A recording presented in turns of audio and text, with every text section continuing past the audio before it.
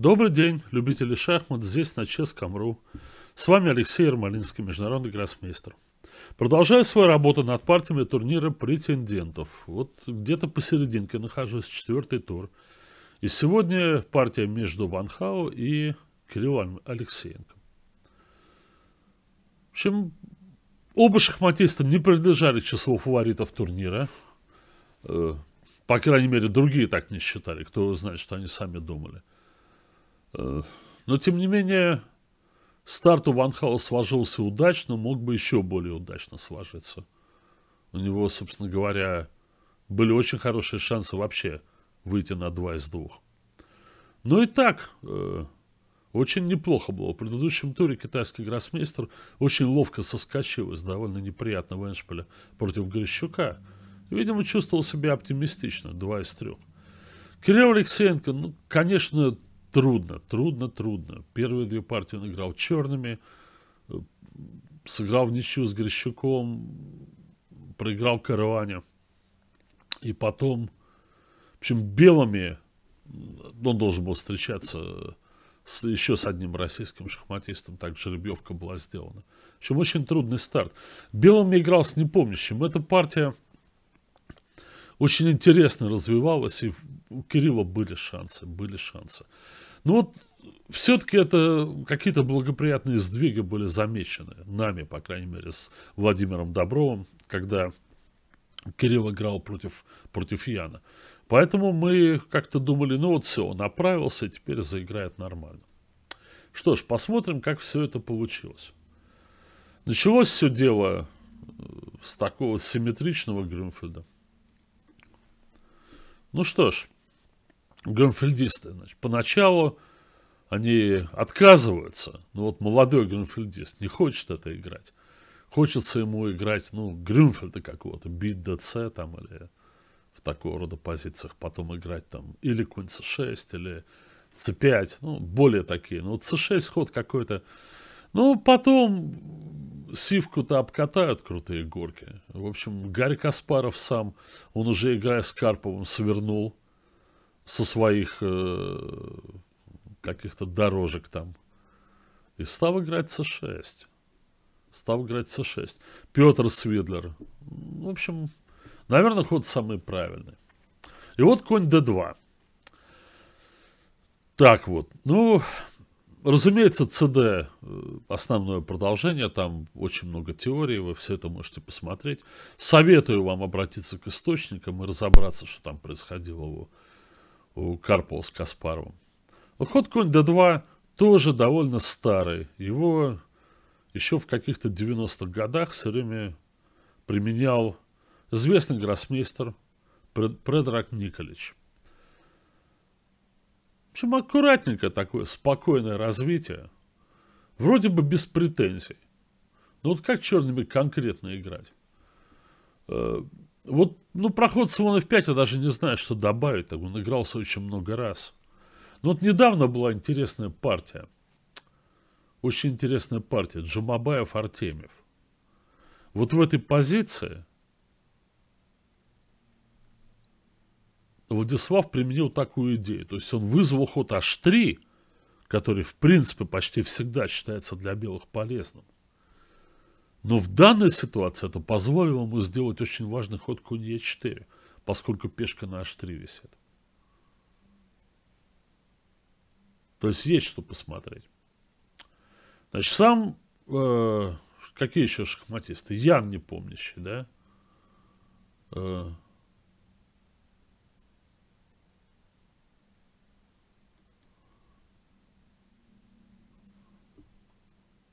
Он, э, мне кажется, конь Е4 ходил. Но здесь, здесь вот что. Ход конь Е4 вообще был связан с этой идеей. Ходить c5. Наверное, мне кажется, это делать не надо. Мне кажется, слон f5 лучший ход. То есть можно пойти или слон f5 сразу, или конь e4, как не помнящий играл, потом слон f5. Но вот это все, мне кажется, не очень хорошо. Здесь Да, с одной стороны, конечно, размены. И все открыто как-то. Но И для белых все открыто и очень весьма неплохо. Слон на g2. Белых не очень беспокоит эта изолированная пешка на c4. У них преимущество в развитии и давлении. Но это ответ правильный, конечно. Но вот это Эншпель. Опять же, вас какие-то партии могут ввести в заблуждение. Я вот иногда говорю про то, что компьютеры могут, они, конечно, очень здорово помогают, но могут и могут и навести какую-то тень на плетень, да? Э, иногда бывает такое же с, вот, с базами. Ну вот откроет об этой вот, позиции на доске, откроет какой-то молодой шахматист базу и увидит смыслов Геллер – согласились на ничью. Ну, он подумает, ну, это такие вообще э, авторитеты, ну, наверное, здесь ничья. Но кто его знает, почему они согласились на ничью? Они вообще могли и до партии согласиться уже. Кто его знает? Дело старое, дело темное. И кто не знает, что у них там было на уме. Хорошо, ладно. Доходим до такой позиции. Еще одна партия э, пришла к ничейному исходу. В этой самой позиции согласились на ничью. Грищук против непомнящего. Но опять же, кто знает, что была за турнирная ситуация, какие мысли были у шахматистов. Надо все-таки досматривать до конца.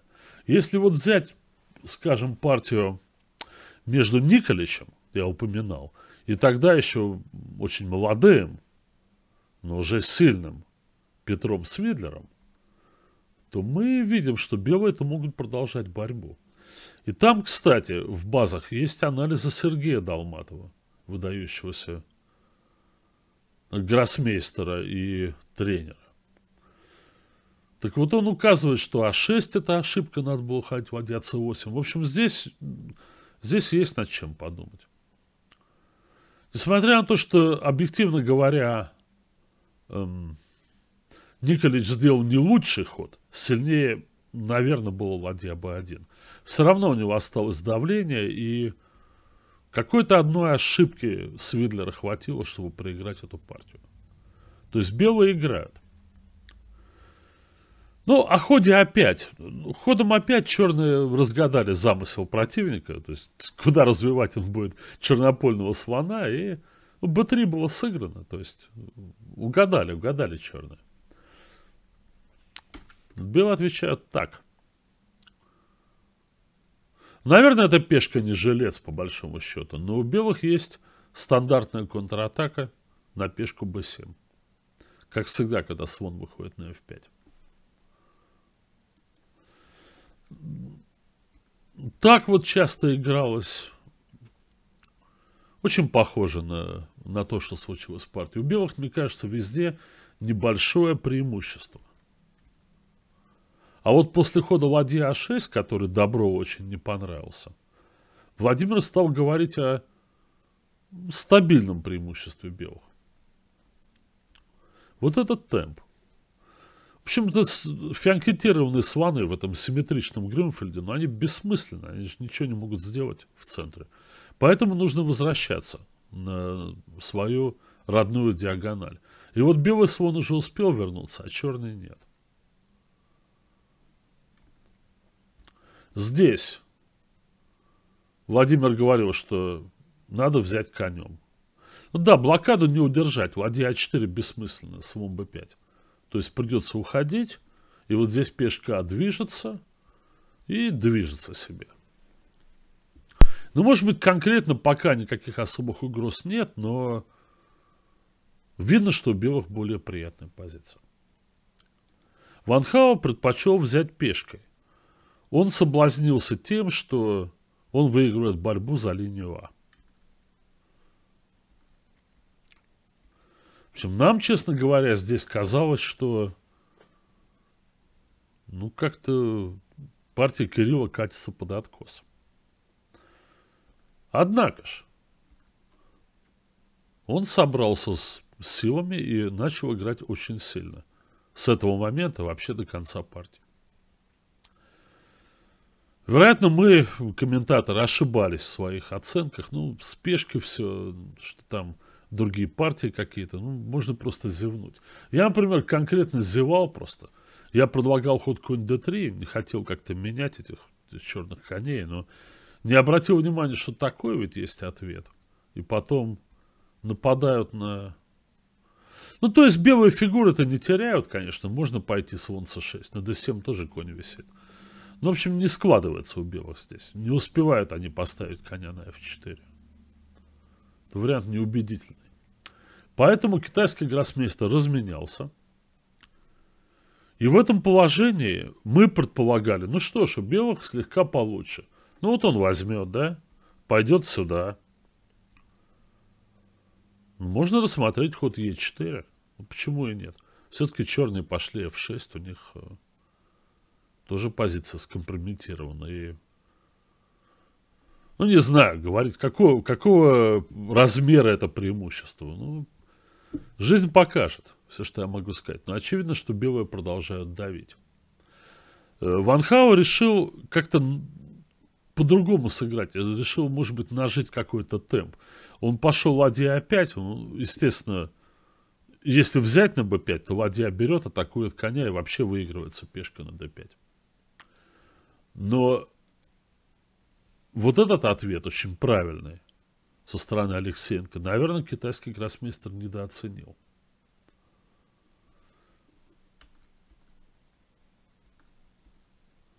Теперь конь вернулся на d7.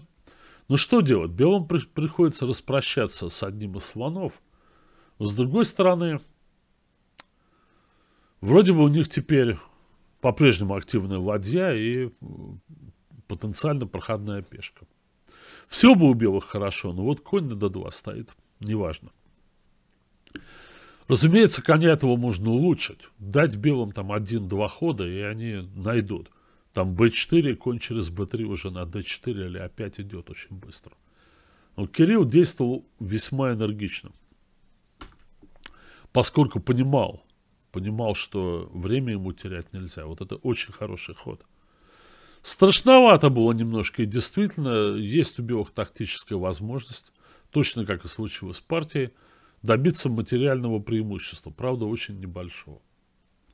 Е4. К слову скажу, что э, вот этот ход конь бьет Е4, такая временная жертва фигуры, наверное, был уже вынужденным, поскольку времени на маневры коня просто не было. Вот здесь... Нет, белым, э, черным не нужно отдавать слона на Е3. Нужно просто отступить. Поскольку эту блокаду сбить практически невозможно с С8. Там еще черные все время двигают Б5 атакуя ладью. Да, главное, что подходит очень быстро черный король. Вот здесь тоже b5. Шикарный ход. Может быть, не обязательный, но почему бы его не сделать? Никого не волнует. Двойные шахи, ничего здесь не Уже черный король очень близко. Значит, пешка c7 может потеряться, и вообще черные выиграют партию. Все-таки у них материальный перевес две пешки. Разумеется, Ван Хау такой ерундой заниматься не хотел, и он пошел на главный, на прямой вариант. Вот так вот. Теперь он выиграет качество. Слон бьет c8. Наверное, если бы Кирилл предполагал, что будут какие-то проблемы, то он мог бы здесь слона и сохранить. Пойти слоном, например, на d3. Но зачем осложнять себе задачу, если ты уверен в том, что ты здесь добьешься нужного результата? Ведь ничья это ничья. Вот иногда люди смотрят на оценки компьютеров и могут дать вопросительный знак какому-то ходу, который, ну, там, приводит э, к падению оценки там, на, на пол очка или на целое очко. Ну, кого это волнует? В принципе, ведь есть только три способа отразить результат в шахматах. Это 1-0, 0-1 и э, половинка на половинку. Ничья это ничья, это ничья. Какая она лучшая, худшая, кого это вообще волнует? Просто никого. Поэтому очень правильно Кирилл поступил. Они сделали несколько ходов, э, контроль прошел, и Ванхау просто продолжил ничью. Ну что вот мы здесь думали? Э, вот такой вариант. Белым нужно двигать пешку на f4, поскольку иначе слон d6, они на g3 теряют. Здесь черные могут рвануть вперед. Ну, дело в том, что король f3 все-таки им никто не даст пойти. Белые, конечно, сыграют так. И здесь получается какая-то позиция, но черными немножко тревожно, поскольку король отрезан э, от пешки h. Ну, варианты на самом деле показывают, что у черных все нормально. Поскольку вот, вот ровненько вот так они успевают дойти. Это одна из тех позиций, где... Ну, чем слон хуже ладьи? В общем-то, если задача этих фигур контролировать проходные пешки противника, обе фигуры дальнобойные, общем, сделать ничего здесь нельзя. Ничья. Ну, вариант может быть чуть-чуть такой шаткий, да, но я продолжил ход g5. Ну, отдать эту пешку, пойти f4. Ну, не знаю. Не могу здесь представить вообще, на что, на что белые здесь могут рассчитывать. Они даже ладьей не могут держаться на линии F. На ладье F7 последует там король E6. То есть пешка G, конечно, никуда не идет. Тоже ничья. Ну, Ван Хау решил сэкономить силы. Я скажу так, что партию нужно записать в актив. В первую очередь Кириллу Алексеенко. Поскольку вот, ну, такая рабочая партия. Да, может быть, где-то допустил неточность другую в дебюте, но тем не менее собрался, силами и очень уверенно привел партию к ничейной гавани. Ну, так держать, победы скоро придут. Спасибо за внимание. С вами был Алексей Ермолинский.